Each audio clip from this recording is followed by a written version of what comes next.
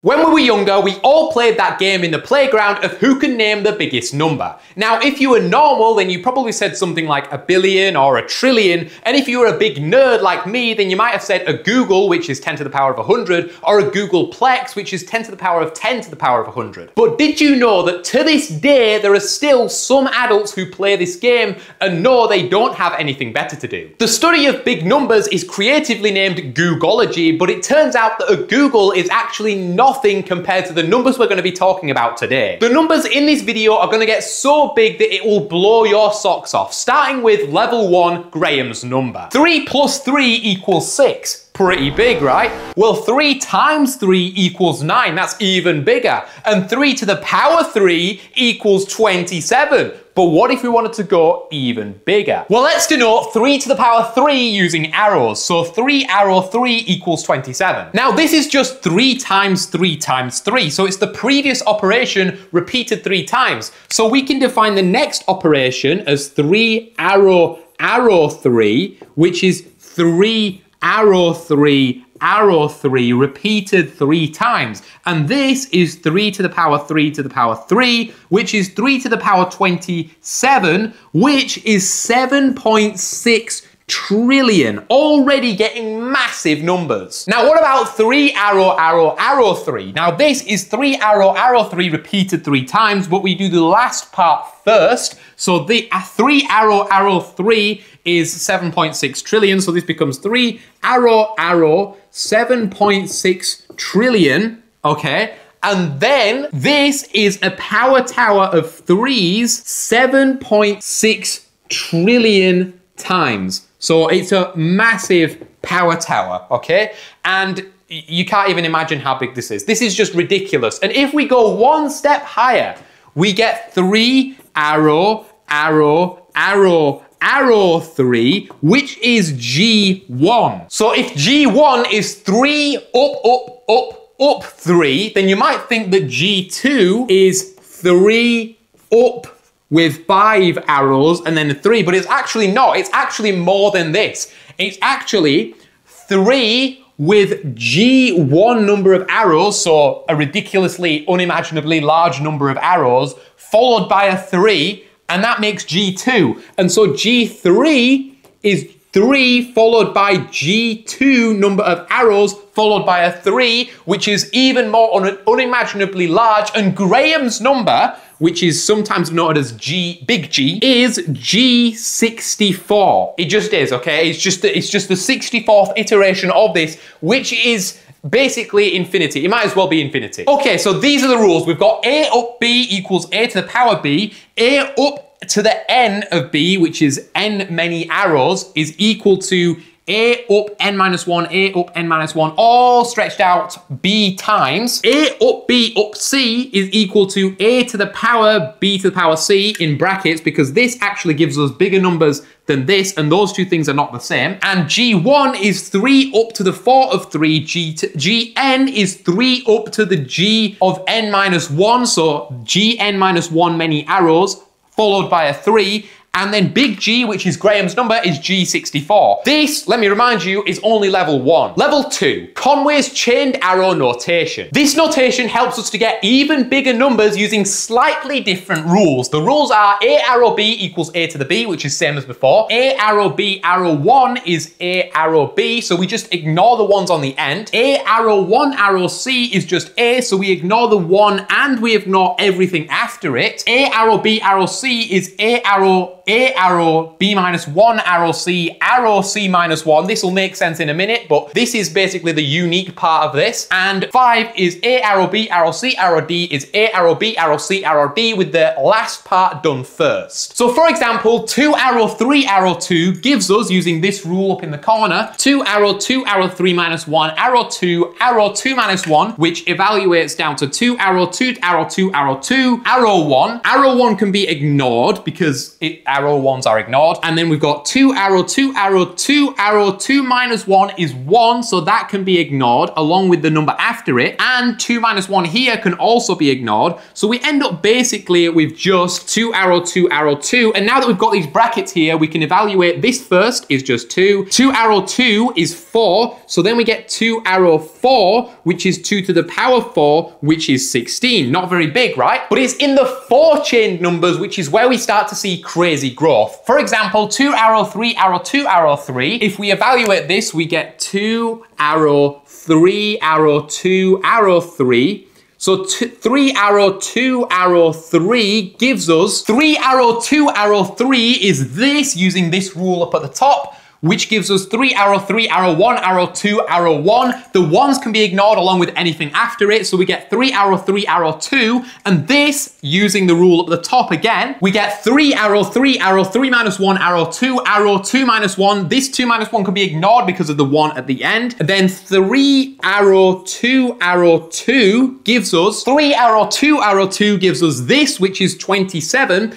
And so we can replace this with 27, which is 3 to the power 27, which is 7.6 trillion. And then we can replace this up here with 7.6 trillion. So we end up with 2 to the power 7.6 trillion, which is just unbelievably massive. Level 3, Steinhaus-Moser. Okay, so we define 3 triangle as just 3 to the power 3, which is 27, and 3 square, which is the next level up, is 3 wrapped in 3 triangles, which, if we try to evaluate this, well, 3 triangle is just 27, so we've got 27 wrapped in two triangles. Now, 27 triangle is going to be 27 to the power 27. That's still got one triangle around it. So this is going to be 27 to the power 27, which is already huge, wrapped, sorry, to the power of 27 to the power 27. So this is just astronomically large. Now I want you to imagine two inside of a pentagon. This is two inside of two squares. Now, two square is going to be two with two triangles around it wrapped in a square, which is going to be two with two triangles around it wrapped in two, two, two, two triangle, many triangles. So basically, it's just gonna be a ridiculous number of triangles, like unimaginably large number of triangles, and then evaluate that, okay? It's gonna be huge. Now, two wrapped in a pentagon is called a mega, and it's already mega big. Now imagine two wrapped in some kind of polygon with mega number of sides, okay? You can call this a megagon, Okay, and to evaluate this, well, you'd have to start with two with a mega minus one number, sorry, a mega minus one gone, which is still a huge, huge number, mega number of times, which basically this is just, you, you can't even imagine it. Now, this, level four, the tree function. To understand the tree function, we've got to play a game. Let's say we have three different colored nodes, and using these nodes, we've got to create a forest full of trees. The first rule is tree one cannot have more than one node, tree two cannot have more than two nodes, and so on. So in general, tree n contains at most n nodes. The second rule is you can't build a tree which contains a previous tree. A tree contains contains another tree if the nodes share the same nearest common ancestor. So for example, we've got the green and the blue share the red ancestor. So this tree is contained in this bigger tree because they still share the same common ancestor. And the same here, the blue and the red share the same common ancestor green and the same common ancestor green is still here. So this tree is actually contained in this tree. But in this example here, the green and the blue share the same common ancestor red, but they don't share the same common ancestor here because this is blue, which is not the same. So this tree is not contained in this tree. Tree of n is the max possible number of trees that you can create with n different colors of nodes. So to try and find tree of one, well, we just start playing this game with one single colored node node, but because we only have one color, we can't make another tree without breaking the rule because then it just contains itself. So the answer is tree one equals one. Tree two, we have two colors, red and green, and this is the maximum number of trees we can make without breaking these two rules. So tree two equals three because there are three trees. But what about tree three? The number of trees you can plant with three nodes, just three different colored nodes, is bigger than Graham's number but it's not infinity. And tree 4 also is bigger than that, but it's still not infinity. Level 5, the sigma function. A Turing machine is a hypothetical tiny little computer that starts with a never-ending string of zeros and depending on its state and what it's pointing at, either moves right or left overwrites it with a zero or a one, and then changes states. So for example, if I have a Turing machine with two states, A and B, it's only ever gonna read either zero or one. So let's say if it's on A and it reads a zero, it's going to overwrite with a one, it's going to move to the left and then switch to state B. And then let's say if it's on B and it reads a zero, it's going to change it to a one, uh, move to the left and then switch to state H, which stands for halt, which halts the machine. Okay, and then let's just say um, 1LB, so same, same function for one, and same here, 1LH. Okay, now let's see what happens, all right? So we run the Turing machine. First it's on A and it reads a zero, so it overwrites the zero with a one. Then it moves to the left, moves to the left, and it changes to state B. Now it's in state B and it reads a zero, so it's this one here. It changes it to a one. It moves to the left again, so now it's over here. Ah! Now it's over here, uh, and it changes to state H, which means halt, so it stops on here. So now we've just got basically two ones and the rest is still zeros. So that's all this machine does. So that was just a Turing machine with two different states. But for the busy beaver function, we consider a Turing machine using sigma of n with n possible different states. So for example, sigma of 2 would be all the possible ways of writing any of these values in for two possible states. So that was just a Turing machine with two possible states, A and B. But for the busy beaver function, we consider sigma of 2 by considering all possible different combinations of numbers or letters that could go in here to create some kind of program. So the sigma of n is the maximum number of possible ones that can be written by a machine with n possible states. So I just showed you how a machine with two possible states can write two ones, but there's actually a machine out there that can make four ones with only two possible states, A and B. So sigma of two, the maximum is gonna be four. Sigma of one is just one. So sigma one is one, sigma two is four, sigma three is six, sigma four is 13, and it looks pretty normal until we get to sigma five, which is 4,096, and then sigma six is 10 up, up 15 using Knuth's up arrow notation, which means a power tower of 10s 15 times. Now, I know what you might be thinking. Sure, that is pretty fast, but surely tree is faster, right? Because this doesn't even get close to Graham's number. Well, yes and no, because while the tree function does appear to grow a lot faster than the busy beaver function at first, for any large enough power of n, the busy beaver function will vastly outgrow any other computable function possible because it's a non-computable function okay? Meaning that you have to actually run this Busy Beaver machine in order to find out what the max number is. There's no possible function that computes it. And because tree of n is technically computable, although we don't have powerful enough computers to actually do it, and because tree of n is technically computable, although we don't have large enough supercomputers that can actually do it, the Busy Beaver function is larger than the tree function for large enough powers of n. For example, the Busy Beaver of a googol Is going to be way bigger than tree 3. Level 6, the xi function. The SKI calculus program is a binary tree where which is just a tree where each of the nodes can have up to two children. So for example like this, where each of the leaf nodes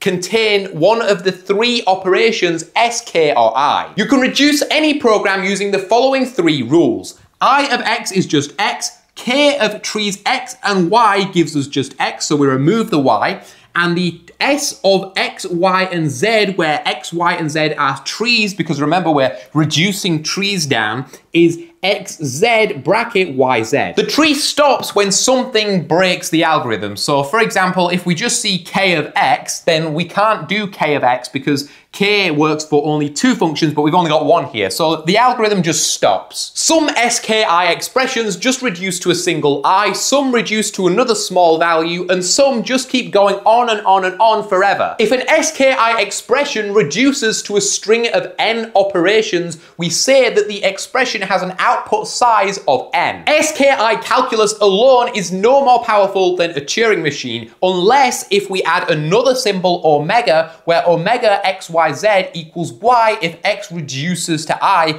or z otherwise. If we start with a string of n symbols and we reduce it, then the largest possible finite output size is called xi of n. Xi of 1 is 1, xi of 2 is 2, xi of 3 is 3, xi of 4 is 4, xi of 5 is 6, xi of 6 is 17, xi of 7 is 51. It doesn't look very scary, right? But xi of 30 is bigger than g, which is Graham's number. This number also grows larger and faster than the Busy Beaver function for large enough values of n because it's also non-computable.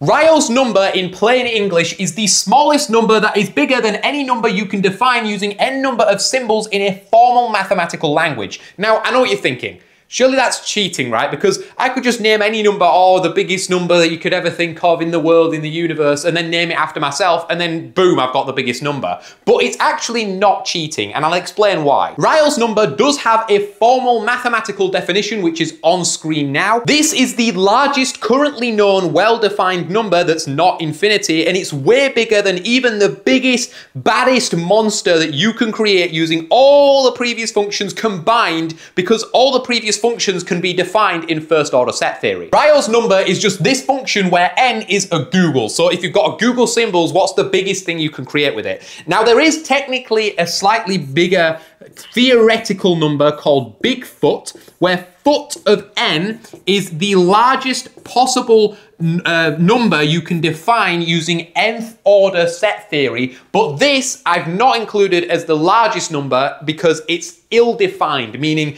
there's no mathematical equation like this. I can't show you something that says this is foot. So until then, Bigfoot's just still a theory, and like, comment, subscribe, click on this video if you want to see more, and piss off.